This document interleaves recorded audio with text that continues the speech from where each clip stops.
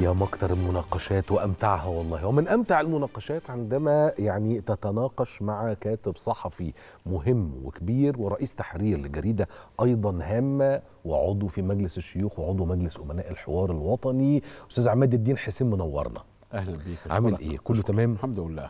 إحنا امبارح شفنا البيان اللي قاله أستاذ ضياء رشوان منسقا عاما عن الحوار بخصوص التوصيات اللي بتتم عمل الصياغات النهائية بتاعتها وترفع لمجلس الأمناء ل يعني الاعتماد النهائي ثم رفعها للرئيس. ده هيتم بكرة إن شاء الله مش كده؟ إن شاء الله. كام لجنة خلصت لحد دلوقتي؟ 13 من 19 كل اللي فاضل ست لجان. آه يعني في 19 لجنة ب 113 موضوع. مم. آه فيهم 13 لجنة خلصت. قاعد ست لجان ما خلصوش. في بعض اللجان أنا أظن قضايا حسمت وقضايا قيد المناقشة. لكن البيان اللي طلع امبارح من آه الأستاذ ضياء ومجلس امناء إن هو 13 لجنة من 19 ده إنجاز كبير جدا لأنه كمان مفصل في بعض ال- ال- الحاجات قايل إنه بعضها شبه محسوم يعني إيه شبه محسوم؟ يعني في قضية الوصاية على المال العام بتاع مم. الأطفال القصر. محسومة. مفيش مفيش نقاش فيها خلاص الناس توافقت على شكل معين. آه. كل الحاضرين أظن العنف الأسري إنه يبقى فيه قانون آه، يجرم العنف الأسري. ده برضو في اتفاق عليه وده أنا أظن ممكن هيبقى مع قانون الاسره. قانون تداول المعلومات حرية تداول المعلومات أنا أظن فيه توافق. قانون مكافحة التمييز فيه توافق. هيتعمل مفوضية. المفوضية. دي كلها نماذج من ال- ال- الحاجات اللي حسمت ومفيش خلاف حواليها لأنه في قضية الدين الدين العام رغم إن هي لم تطرح في القضايا اللي قال عليها آه، ضياء رشوان لكن آه، أنا من خلال متابعتي اللجنة كان هناك إجماع على ضرورة الحد من الاستدانة وعمل سقف أو إنه يبقى للشديد القوي ففي توجه عام. لكن إزاي تقدر تصيغه في تفاصيل في في في نقاط محددة ترفع للسيد الرئيس. في قضايا ما زالت قيد المناقشة لأن هي بطبيعتها جدلية. طبعا آه، قضايا زي قوانين الانتخاب على سبيل المثال. آه. آه، ال- الانتخابات المحلية أظن في توافق 75 25 25 فدي برضو في توافق بالنسبة لها. البرلمان البرلمان لسه البرلمان فيه الثلاث آراء الطبيعيين اللي هو في كل مرة وده اتجاه واضح في النخبة السياسية المصرية طول الوقت أو في الأحزاب والقوى السياسية الناس عايزاها بالاغلبيه بالانتخابات اللي عدت إنه فيه آه، 50% مثلا آه،. مغلقة 50% 50% فردي. القوى الحزبية معظمها عايزة نسبي. يقول لك والله أنا عايزها نسبي. القوى الأخرى تقول لك طب لا أنا عندي آه، مانع دستوري بيقول إنه ال- ال- التمييز الإيجابي هي الفئات اللي هي الدستور ميزها ايجابيا المرأة والاقباط والفلاحين والعمال والشباب والقوى الأخرى دي آه، ال- لو أنا عملتها بالفرد هتبقى مشكلة. طبعا. وفي النسبي آه، البعض بيقول ممكن مش أعملها نسبي هضمن التمثيل. ال- ال- ما هو هنا الخلاف الفقهي إنه ال- ال- المغلقة قد تضمن لك إنك أنت القايمة اللي هتنجح خلاص أنت جايب فيها حاطط في القايمة نفسها ال 25% دول. في النسبة بيقول هناك طريقة ما أنا مش للأمانة مش خبير فيها أقدر أحطها. آه، حد تاني يقول لك آه ممكن تحطها بس ال- الناخب المصري آه ما بيحبش التعقيدات في العملية الانتخابية. ممكن يدخل اللجنة لو في لوغاريتمات في العملية الانتخابية قد هطلع أصوات باطلة. ت- تبقى أصوات باطلة كتير جدا. وبالتالي أنت بتوائم بين ال- ال- المطالب السياسية المختلفة وطبيعة الناخب المصري وطبيعة الظرف السياسي. مم. هل ممكن تعمل مثلا نسبة قوائم مغلقة بحجم القوائم ال- الفئات المميزة فقط؟ بمعنى إن أنا محتاج 25% آه، من الأعضاء مجلس النواب اللي هم ميزهم الدستور. طب خلاص أنا هقول والله ممكن. أحد الاقتراحات اللي سمعتها أثناء المناقشة دي هعمل القايمه مغلقة فقط ب 25% مم. ماشي؟ وبالتالي أبقى ضمنت إن القايمة اللي هتنجح دي فيها ال 25% من ال- الفئات المميزة. لكن دي أنا أظن إنه ظني مش معلوماتي إنه هيبقى فيها اقتراحات الثلاثه مثلا والأمر سيكون متروك للسيد الرئيس هل ال هل ال- اللجان ال- في التق... ال- الت- التوصيات التي سترفع ونقاشات مجلس الأمناء غدا هتقدر توصل لحل خلاق يرضي جميع إرضاء جميع الأطراف؟ صعب للغاية في حاجات كتير. طبعاً. لأنه أنت هنا بتتكلم على آه، تمايزات وتباينات ورؤى سياسية مختلفة. الناس اللي هي بتتكلم على تقوية الحياة السياسية يقول لك والله آه، ال- الانتخابات النسبية هي الأفضل لأن هي. بتدي قوة للأحزاب على حساب ال- المرشح الفرد المرشح الفرد لأنه كما تعلم التربة السياسية في مصر هشة جدا. البطل فيها من زمان جدا هو ال- القبيلة والعيلة والعيلة، والاسم والشخص وال من أيام الباشا مرورا بابن العيلة ال- الأفكار الحزبية نتيجة ظروف كثيره يطول شرحها أنت أعلم مني بيها. آه، آه، الناس ما بتروحش البرنامج إلا قليلا يعني. الناس بتروح على الاسم. والدليل إنه يعني أنا سمعت رقم من ضياء رشوان خلال النقاشات في مجلس الأمناء إنه من في دولة فيها 104 أو 105 مليون شخص عدد المنضمين للأحزاب أقل من مليون مليون تقريبا. دي دي مشكلة كبيرة. خدت بالك؟ إن أنت وكمان حتى النقطة الثانية هل اللي بيروح ينضم للأحزاب هو بينضم ليها؟ إيمانا ببرنامجها ولا سعيا وراء مصلحة في. ناس شايفة إن الانضمام للحزب قد يسهل لها إنه ياخد غنيمة يتعين يتوظف آه، ياخد أي شيء إحنا هنا بنتكلم على الحياة السياسية الحقيقية الوعي السياسي الناضج الذي يجعل المواطن يدخل الحزب لأنه مقتنع بأفكاره ويدفع اشتراك للحزب مش ياخد فلوس يعني ال ال الكادر الحزبي المفروض بيدفع ما بياخدش. ياخد ياخد مكاسب إذا الحزب وصل للسلطة هو ممكن يبقى يعني أحد مرشحي الحزب أحد في مرشحي الحزب في المحليات في بالظبط. الحكومة في البرلمان في ال- في رؤساء في الشركات في حاجات زي كده ده ده المنطق فبالت... لكن في ناس كتيرة القاعدة الأساسية للأحزاب هي مواطنين مقتنعين بفكرة الحزب وبيروح يصوت له وبيحضر ندواته وافكاره وحاجات زي كده ده ضعيف في مصر لا لا أقول منعدم لكن على الأقل ضعيف. من مصلحتنا على المدى البعيد إن إحنا نطور ده ونشجع ده لأنه الحياة الحزبية السياسية الحقيقية هي أفضل حائط صد ضد الأفكار الظلامية والمتطرفة واستغلال رأس المال واستغلال التيارات الدينية لل- للحياة السياسية اللي بيدخلك بالأفكار ال- الدينية وتجارة الدين وحاجات زي كده. فده جزء صغير هنا فيما يتعلق بالجدل حول أي الأنظمة السياسية أفضل مش بس أفضل ومناسبة في في وقت معين لأن أنت في وقت ممكن تكون الحياة السياسية تمام والأوضاع أكثر استقرار ومفيش مشاكل اقتصادية فتقول والله أنا عندي آه النظام النسبي. لكن في لحظة تانية أنا بقول لك مش رأيي الشخصي أنا بقول لك كيف يمكن التفكير في ده. طيب بعض تاني يقول لك لا في أوقات الأزمات لو في أزمة اقتصادية طيب ما أنا لو سبتها للفرد فقط اللي هينجح أصحاب رأس المال بس. الراجل. الأكثر قدرة على على الإنفاق. ال- الإنفاق والمال السياسي. الانتخابية وما. هينجح. آه. صاحب الرأي الحقيقي والمواطن المرشح الحقيقي الجيد الخبير بتاع قد لا يعرفه الناس وقد لا يذهبون إلى التصويت ليه. فبالتالي أنت بتبقى بين مجموعة من المحددات الكتيرة مش بس إن هي ده أحسن وده أوحش. لأنه أحيانا ده أحسن في الوقت ده وده أوحش نفسه يبقى ممكن أسوأ في وقت وقت آخر. طب أنا يمكن هفكر مع حضرتك بصوت عالي. آه أنا و و و وشخصكم الكريم في مرحلة من المراحل بالتأكيد نحسب ولنا شرف على مربع المعارضة المصرية. وفي. وقت آخر ونفس الم... آه وهو يسار وما صحيح. إلى ذلك. وفي وقت آخر قد يكون حاليا ان إحنا محسوبين على الموالاة.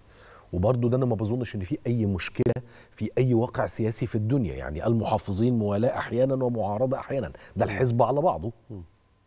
لكن بالتجربة بتقول إنه القائمه النسبية في تاريخنا السياسي والانتخابي ما أدتش لتواجد واسع وقوي داخل البرلمان ولا مرة. ما هو للأمانة برضه عشان تبقى تبقى الأمور موضوعية أن- لما أنت تتكلم على المستوى النظري القائمه النسبية ممتازة.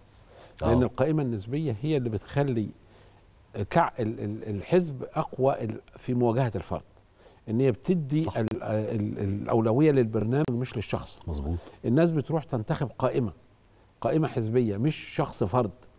موجودة في دول كثيره اللي استقرت انظمتها السياسية والع- يعني طبعا في دول في زي بريطانيا فيها النظام الفردي الأساس فرد. طبعا ده ده الأساس. آه في دول تانية فيها النسبية آه، اللي هي بتدي بس أحيانا النسبية مثلا النموذج الإسرائيلي. مم. ما هو لازم تاني عشان حتى لا يبدو إن أنا ب ب ب برجح واحدة على واحدة إن إحنا من المهم دراسة التجارب في إطار مختلف حاجات النموذج الإسرائيلي عنده العتبه الانتخابية كانت في فترة معينة مم. 5% آه من لا يتجاوز ال 5% يشطب أو يحل بقوة القانون أو يندمج في أحزاب أخرى مم.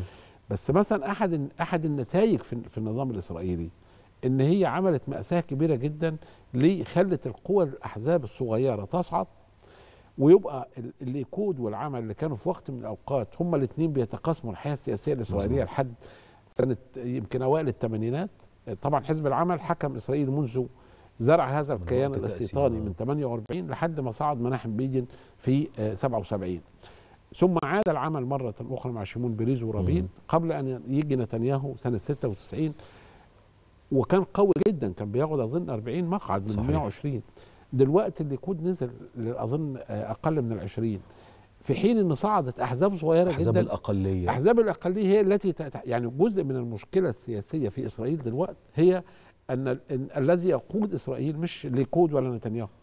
هو ايتمار بن غفير والصهيونية المتصهينة وما أعرفش الصهيونية القومية والأح- وشاس و و و وكل القوى السياسية المتطرفة اللي هي بتقول له أنا معايا ثلاث مقاعد. إحنا شفنا إنه الذي رجح الحكومة حكومة يسار الوسط قبل نتنياهو لبيد كانت يعني ما يمكن إطلاق عليهم الإخوان المسلمين في إسرائيل. مم. ماشي؟ لأنه كان ال- اللي هي الكتلة العربية جزء من الكتلة العربية. فالحياه السياسية في إسرائيل هذا النموذج خلى الأولوية إنه لأنه الاصوات بتبقى 59 61 فلو واحد غير رأيه بيسقط الحكومة. سقط الحكومة.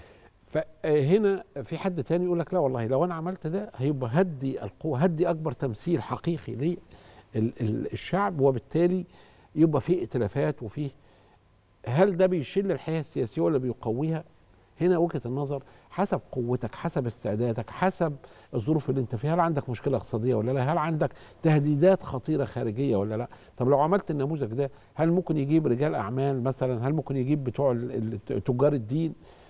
لابد أن تنظر للمسألة في إطار أوسع مش فقط إن أنا أقول ده أحسن وده أوحش. ماشي؟ مم. إحنا شفنا بعض الناس في انتخابات قبل ال- ال- ال- ال- الماضية كان فيها الجزء الأساسي المال السياسي. من يستطيع أن ينفق هو اللي كان بي بيفوز. طيب هل أنت ده جيد؟ هل تقدر تعالجه إزاي؟ كل دي أسئلة وأنت بتختار النموذج السياسي لازم تكون في ذهنك. بحيث إن أنت يكون عندك ال- الهدف إنه كيف أصل إلى أفضل طريق ها في ظل المعطيات اللي موجودة. لأنه الكلام النظري وحده لا مش مش هينفع يعني. طب يمكن هنا هبدأ أنتقل على مسألة هل يوجد تخوف لدى ده من واقع مناقشاتكم مع تيارات المعارضة المختلفة أو التيار المدني اللي موجود في ال- ال- الحوار الوطني؟ هل هم عندهم تخوفات من مسألة نسج تحالفات على قوائم انتخابية في الانتخابات البرلمانية اللي جاية في 26 مع حتى أحزاب الموالاة إلى أن ينفض السامر وتنتهي الانتخابات وتعلن النتائج كان مجرد تحالف انتخابي وليس تحالف سياسي تحت القبة. هل لديهم هذه التخوفات؟ ولو عندهم هي عندهم ليه؟ ما هو التحالف السياسي مش موجود هو تحالف لأجل الانتخابات على قائمة مغلقة. بص ما هو تاني يعني في مصر الحركة المدنية هي يفترض العنوان العريض للمعارضة المصرية. المعارضة المدنية قد تتفق أو المعارضة المدنية ال- الحركة المدنية قد تتفق في بعض ال ال الآراء السياسية. مم. وهذا حقها الطبيعي. طبيعي. بس في الحركة المدنية دي فيها فيها حزب الكرامة والتحالف الشعبي مم. وهم يسار وف- وفيها وفيها عندك آه، قوى ليبرالية جدا. صحيح. طيب القوى الليبرالية فيما يتعلق بالجوهر المشكلة في مصر فيها جزء جزء أساسي مش جوهر بس الاقتصاد. طيب آه، ساعة ما يجوا دول يتكلموا في الاقتصاد الاثنين على طرفي نقيض. دي نقطة مهمة. صح. آه، ال- البعض يقول لا والله خلينا نتفق على برنامج سياسي. البرنامج السياسي بعد كده ننفض كل واحد يذهب إلى حال سبيله. خدت بالك؟ آه وبالتالي الحركة المدنية قد تتفق في توجهات سياسية لكنها لا تتفق في توجهات اقتصادية واجتماعية فهل التحالف هيكون هو تحالف انتخابي فقط وبعد أظن. كده آه كله يروح لحال سبيله لأنه شفنا حتى داخل الحركة المدنية آه فيه انقسامات وهذا طبيعي لا يعيب. الحركة المدنية يبقى فيها انقسامات بس انقسامات على أساس اقتصادي في حد شايف الحل إنه يبقى عندك ليبرالية كاملة يبقى عندك آه الأولوية للقطاع الخاص فقط وحد تاني في اليسار بيقول لك لا الدولة لابد أن يكون لها دور لأن في أزمة اقتصادية وفي نسبة فقر فوق 30% أو 29.5% فبالتالي من المهم إن تكون الدولة موجودة. ده آه، جوه ال- ال- يعني لما حتى الحركة المدنية جت تتكلم في صوتت على المشاركة في الحوار الوطني ما كانوش الناس كلهم على رأي واحد. وهذا في السياسة طبيعي بالمناسبة. آه طبعا. خد بالك؟ المهم إن هو يبقى في وضوح رؤية لأنه أحيانا أحد المشاكل الحقيقيه في الحياة السياسية المصرية وفي الحياة السياسية العربية إلى حد ما إنه في مثالية شديدة جدا مثالية في في كل المجالات. إن أنت ترى إن ده أفضل حاجة أو أسوأ حاجة. السياسة هي المنطقة اللي في النص. أنت يعني الغرب عنده إنه بيفكر ليه إحنا بنتهم ونقول كلمة النفعية. وكأنها كلمة عيب. النفعية هي إنك أنت مش إن أنت بالمفهوم ال- الشعبوي المصري لا النفعية إنك أنت بتشوف مصلحتك فين دلوقتي فبتقدر توصل لحل وسط تاخد فيه سبعة في الم... سبعة من عشرة واحد تاخد ثلاثة. فكرة إنك تاخد العشرة من عشرة مش موجودة في استحالة. يعني ده مش موجود في الدنيا كلها. هل ده تيجي تقول آه لا ده استغلاء ده آه تنازل لا يا سيدي. السياسة إنك أنت بتاخد حاجة النهاردة وبتبني عليها وهكذا. مفيش حاجة بتتم ب... ب... ب... ما بين آه، يعني عشية يعني. عين وانتباهاتها. ده ده اللي بيعمله ربنا. لكن في الحياة السياسية عموما لا مش موجود ده. طيب من من من من ال ال القوانين بتاعة الانتخابات أو شكل الانتخابات المفروض يمشي إزاي وخصوصا في الانتخابات البرلمانية إيه تاني لم يتم الاتفاق عليه بشكل كامل ونهائي يعني على ما يبدو إنه زي ما قال الأستاذ ضياء هو أغلب اللجان بأغلب التوصيات متفق عليه لا في قضايا طبعا زي الحبس الاحتياطي قانون الإجراءات الجنائية فيه هل لازال هناك خلاف على النظرة إلى تعديل قوانين متعلقة بالحبس لسه لم؟ يعني لا هنا طبعا لا لم يحسم لأنه ممكن يبقى محتاج جلسة أو اتنين تاني عشان مم. توصل لتوافقات آه، قضية المسجونين أظن لسه آه، وده على عهدة أحمد راغب آه،. الراجل مصرح للشروق بكرة قايل الكلام ده. آه، آه، قضية في بعض الحاجات الاقتصادية قضية الديون زي ما قلت لحضرتك لسه. لكن هو في نقطة تانية مهمة جدا اللي هي في مسألة الواقعية. آه. هو أنت في قضايا أنت مش هتحلها ما هو إحنا آه، آه، آه، نقطة جوهرية الناس بتنساها. لما قعدنا نناقش هو إحنا إيه القضايا اللي هنحطها تبقى موضوعات للنقاش في الحوار الوطني؟ كان في وجهة نظر إنك تحط كل القضايا. وفي بعض الزملاء في المجلس المحترمين قال لك نحط المرأة. في حد تاني قال يا اخوانا إحنا دي مش قضايا إحنا مش جايين نناقش قضايا فئوية نحط المرأة والشباب. إحنا جايين نناقش قضايا وده كان منهج ضياء رشوان وهو ثبت إنه صحيح القضايا التي يمكن أن يكون لدى فيها حلول قابلة للتنفيذ. صح. حتى قضية التعليم ما أنت قضية التعليم هل أنت طارحها هي أو الصحة بمنطق إن أنت هتحلها بكرة؟ يعني هتطلع توصية تحل بيها مشكلة مش هيحصل يعني أنا آسف إن بقول ده قد يبدو مش هيحصل. طبعا. لأن مرة تانية السيد الرئيس عبد الفتاح السيسي قال أكتر من مرة وسمعته بودني إنه عشان تعمل تعليم صح محتاج آه، آه، أظن رقم 10000 إنفاق دولار مخيفة طبعا لكل للفرد. شخص. وحتى يومها قال وحتى لو افترضنا إنه 10000 جنيه ل 22 مليون أو 23 مليون طالب مش موجود الرقم. هتعمل إيه؟ يعني هو أسهل شيء إنك تقول عايز أحل مشكلة التعليم. كلنا عايزين نحل مشكلة التعليم. بس إزاي تحلها؟ إذا أنا مش قادر أحلها كاملة ممكن أقول والله هدفي هو الوضع المسألة على الطريق الصحيح. إيه هي المسارات الصحيحة اللي تقول والله إن أنا هبدأ مسار هيقودني بعد فترة إلى إن أنا هقف على أول الطريق الصح؟ ماشي؟ ونفس الوضع فيما يتعلق بالصناعة والزراعة وحاجات كتيرة جدا. القضية السكانية ممكن تعمل اجراءات بس الجزء الأساسي فيه هو ثقافة ناس. ثقافة ناس تبقى محتاجة آه في إجراءات قد تجبر الناس على إن هي تغير اتجاهاتها بس إزاي تقدر تغير الثقافة الراسخة لدى البعض بإنه الخلفه عزوة وإنه كذا وكذا؟ مم. ويقول لك الصين كذا لا الصين قعدت سنوات طويلة جدا اسمها سياسة الطفل الواحد. الناس اتعودت الثقافة بقيت إنه ما يجيبش لطف لما الصين سمحت بالطفلين وحتى تغاضت عن الثالث مش قادرة تقنع الناس إنه يرجعوا يخلفوا اتنين. لأن هو خلاص تعود على دي بقي ثقافة عكسية. صح. نوع العكس في أوروبا أوروبا عندها مشكلة مفيش آه، آه، ثقافة الخلفة الكتيرة. فبالتالي بيدوروا على ناس تيجي تشتغل. عندهم. مم. ولذلك يعني ناس كتيرة جدا يقول لك السيدة ميركل الأم المثالية للمهاجرين. على عيني وراسي السيده عظيمة وعملت حاجات كتيرة جدا. بس هو ما كانش عشان الام المثالية هي بس. بتبحث عن المستقبل عمالة- الاقتصادي لالمانيا بالظبط عمالة في سن عايز بتدخل المهندس السوري أو الهندي اللي في سن الشباب مم. ها؟ ما بتدخلش الراجل اللي عنده 80 سنة السوري ولا الطفل الصغير. هي عايزة عمال أو موظفين ينقذوا الاقتصاد الألماني. يخشوا يض- وهكذا. خد بالك؟ فاحيانا إحنا بنقول نص ال- الكلام أو نص الحقيقة لا نضيف الجملة لآخرها عشان تبقى الصورة باينة. فانت آه، آه، عندك قوة شبابية حقيقية والعدد كبير جدا في سن الشباب. النهارده أظن طالع آه، حاجة إحصائية بتقول إن إحنا طفل كل 15 ثانية. آه. فإزاي تقدر توظفه صح؟ في نقطة جوهرية في المسألة دي لأنه محدش بياخد باله منها. ليس عيبا إنك أنت تخلف براحتك على فكرة. اعمل إحنا ال- النسبة بتاعت ال- النسبة السكانية عندنا 2.4 من عشرة. يعني كل سنة بيضاف لك حوالي 2.5 مليون مواطن.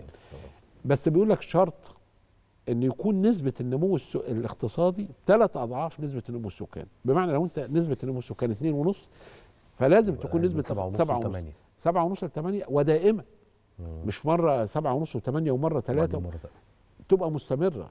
ده اللي بيخلي أي مواليد جدد آه، سوري آسف أي ناس بتتخرج من الجامعة بيدخلوا سوق العمل هيلاقي فرصة عمل صح. لأنه في نمو اقتصادي. فبالتالي ما عنديش مشكلة. لكن نسبة نمو اقتصادي ضعيفة جدا ونسبة نمو سكاني كتيرة آه طبعا كل إنسان بيتولد برزقه وحاجات كتير بس في السياسة الاقتصاديه دي أنت ما بتبنيش بالمنطق ده. أنت بتبني أنا اشتغل عملت إيه؟ إيه هي فرص العمل اللي الناس أظن أنت محتاج ما بين 800 إلى 800 ألف إلى مليون فرصة عمل في السنة. هل عندك ده؟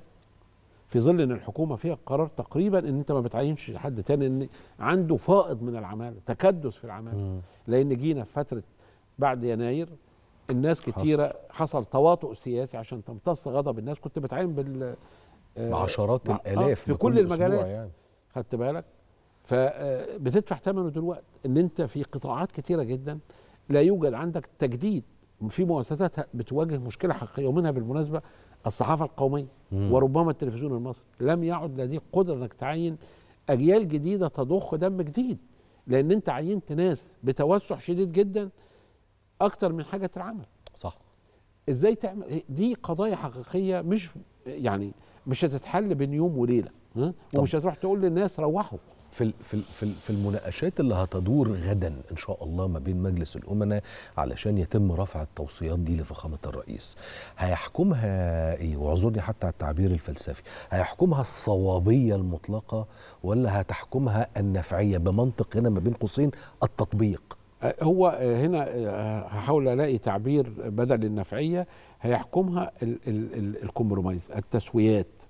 بمعنى إنه هاجي في حاجة يعني ال- السياسة دايما أنت هتاخد إيه وأنا هاخد إيه حتى اتفقنا إن النفعية في السياسة أيوة. والاقتصاد حاجة كويسة بالظبط النفعية منطق إن أنا هنا آه، لو أنا لو في قوة سياسية حقيقية بتمثل المجتمع كله فبالتالي وهي تتفاوض ها بتتفاوض على أسس مش نفع على أسس مصلحية مم. فالمصلحة بتاعتي والمصلحة بتاعتك مفترض يكونوا في النهاية مصلحة المجتمع وبالتالي ال- هنا التسوية آه، يعني أنا أظن لو حصل توافق بمعنى ان هاجي أنا أقول والله القوى السياسية دي هتتنازل قليلا في هذه القضية مقابل إنها تاخد حاجة تانية في القضية الثانية أو يبقى مقتنعين إنه هذا هو الحل الأنسب الآن للحياة للظروف اللي موجودة هرجع تاني وأكرر ده لأنه في بداية الحوار الوطني في. في ال- الاجتماعات الأولى الأسبوع الأول من آه. يوليو 22 أنا بقول لحضرتك وأنا فاكر كويس جدا كان في حالة من عدم التشكك من التشكك آسف آه. والتربص ومحدش كل واحد داخل يعني سنين سنين آه لأنه ما كانش في سياسة قبل كده. آه. بس بعد شوية بدأت الناس لما قعدوا الناس تتحاور وتتناقش بعد الزعاق والصريخ وكل ده بدأ يبقى فيه فهم عام لل- لل- للظروف. الفهم العام ده بيقودك إنك تبقى راشد سياسيا. فبالتالي ما تطرحش تيجي تقول أنا عايز أبني ألف مدرسة بكرة. كويس. وأنا بقول عايز أبني الألف مدرسة هقول والله الفلوس دي هجيبها منين؟ أو ألف مستشفى وده حق طبيعي. وعايزينه فورا بكرة. أنت أنا أنا- يعني المهم جدا إن إن الناس وهي بتتكلم يبقى البيانات كاملة قدامها. ده بيريحك لما بتيجي تقول يعني زي رب البيت بالظبط. كل حد في الأسرة عايز كل حاجة. آه. بس الاب موجود معاه حجم محدد من الفلوس. صحيح. ممكن أجيب له واحد بس أو ممكن أجيب ربع حاجة لكل واحد حسب الظروف اللي موجودة. خدت بالك؟ وبالتالي لما الأسرة تعرف الواقع الحقيقي لل- للمرتب الأب والظروف وحاجات كتيرة جدا هيبتدوا يبقوا واقعيين فتبتدي تحل الأمور حل صحيح. خدت بالك؟ وبعد كده بعد ما نحل حل صحيح نتفق على قواعد ننمي هذا الدخل. الأب يشتغل شغلة تانية. الواد في الأجازة الصيفية يشتغل. نقلل النفقات. لو هي في نفقات أقدر أقللها. خدت؟ وهكذا. طب آخر حاجة آخر حاجة قبل ما ما نختم. هل نحتاج من واقع أو إذا حصل بالفعل ده مناقشات داخل الحوار الوطني إلى خلق لو صح التعبير كده إيه الحكومة تتصالح مع الاستثمار والاستثمار يتصالح مع الحكومة؟ آه برضو تعبير ازاله معوقات الاستثمار. أنا بسمعه من سنة من, سو من سنة ستة ابتدائي تقريبا أنا تقريباً، بدأت آه. اقرا الجرايد يعني. فال ده هنا ال- ال- الدولة على مستوى الدولة والحكومة آه بيقولوا كلام زي الفل وتمام جدا. وحصل فيه قرارات حقيقية مهمة في الفترة الأخيرة. بس في جزء تاني متعلق برضو بالثقافة الراسخة. مم. وجزء من الإعلام المصري لفترة طويلة جدا كان ينظر إلى كل رجل أعمال باعتباره حرامي إلى أن يثبت العكس. علشان في تاريخ سيء. وأنا واحد من الناس دول. آه وأنا سيء. اشتغلت في كل الجرايد المصريه تقريبا من آه. سنة 86 وكان جزء من الثقافة العامة في اليسار وعدد والمسلسلات والدراما هو الرجل اللي ماسك السيجارة اللي بي فيهم ناس كده بس في ناس كتيرة شرفاء بيشتغلوا. صح. بس انت وقر في ذهن ناس كتيرة الموظف بتاع الثقافة العامة انه لا دول حرامية. فده بيعمل مشكلة كبيرة جدا. وجزء فساد محليات وجزء حاجات كتيرة خلى في حالة انه أحيانا يجي موظف صغير يعرق يوقف الدواليب الدنيا كلها. مم. فانت محتاج يعني بجانب الحاجات المهمة اللي عملتها الحكومة والقرارات بتاعت وثيقة ملكية الدولة و وحاجات كتير الامانه إنك أنت تبدأ الناس تقتنع إنه مساعدة المستثمرين الجادين ده مصلحة ليه؟ لأن أنا بما إن الدولة مش هتقدر تدخل صانع وزارع وهي المنتج ها؟ وهتتعامل بنسبة كبيرة إن هي المنظم فلا بد إن أنا هنا أدرك إنه لما أنا بساعد المس- المستثمر أو رجل الأعمال إنه يبني مصنع يوظف فيه خمسة ده أنا أديله مكافأة. وأنا ليه بعمل حاجة اسمها دعم الصادرات ناس كتير يقول لك ليه أنا بدعم المصنع مش كفاية لأن هو لما بيصدر بيجيب لي عملة صعبة. صح. وبيوفر لي عملة صعبة كنت هدفعها في السلعه بيوفر لي فرص عمل. ف... وبيوفر لي الأساس فرصة عمل. مش يعني آه، تكافل وكرامة مشروع عظيم. بس مم. أنا مصلحتي إن على رأي حد يعني الدكتور عبد المنعم سعيد أظن دايما يقول اللفظ ده. أنا مش من مصلحتي إن أنا أدير الفقر. إحنا عايزين ندير الغ... يعني ثروة. إنك أنت تدي تخلي الراجل اللي يشتغل ويعول خمسة أفضل من إن أنت تعوله. يعني تقول والله اللي هيطلع من تعمل هنا بقى دور الحكومة بأمان. مجموعة من السياسات اللي هي تدخل إيه العظمة بتاعت تجربة الصين؟ إن أنت بتتدخل عدد كبير جدا من الطبقه الفقيرة أو اللي تحت خط الفقر إلى الطبقة الوسطى. بتدمجهم بي- بيصعد بيرتقي طبقيا.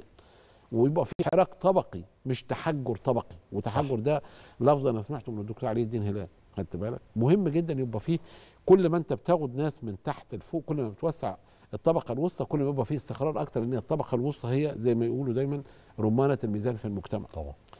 ده بيجي بإيه؟ هنا السياسات الحكومية اللي هي بتقترحها الحكومة بتشجع بيها القطاع الخاص بتشجع بيها كل منتج. ويبقى عندي قوانين رادعة وهي موجودة. أي حد يفسد أو يسرق أو يحتكر أفرمه بالقانون. عشان ما حدش يقول لي أنت فاشستي لا بالقانون. ويبقى عبرة لمن إيه؟ لا يعتبر. أستاذ عماد نورتني وشرفتني كما جرت العادة يا بختي إن أنا بعرف أشوفك في البرنامج عشان مش عارف أشوفك بره أشكرك. فألف ألف ألف شكر لكاتبنا الصحفي الكبير أستاذ عماد الدين حسين رئيس تحرير جريدة الشروق عضو مجلس الشيوخ وعضو مجلس أمناء الحوار الوطني. هنروح لفاصل ونرجع بعد الفاصل. يمكن مش هيبقى في الحوار الوطني لكن تحديدا على إزاي أقدر أخلق تمكين اقتصادي وده جزء من أواخر الكلام اللي اتكلمنا فيه مع الأستاذ عماد. تمكين اقتصادي يعني إحنا نخلي الناس تعرف تشتغل وتكسب ويحصل الترقي الطبقي اللي قال عليه أستاذ عماد. عايزين نشتغل على أو نفهم إزاي هيحصل تعزيز للحرف التراثية والمنتجات اليدوية. يكون موجود معنا بعد الفاصل الدكتور محمد ممدوح رئيس مجلس أمناء مجلس الشباب المصري وعضو التحالف الوطني. للعمل الأهلي التنموي ورئيس اللجنة الاقتصادية في مجلس القومي لحقوق الانسان استنونا لو سمحتوا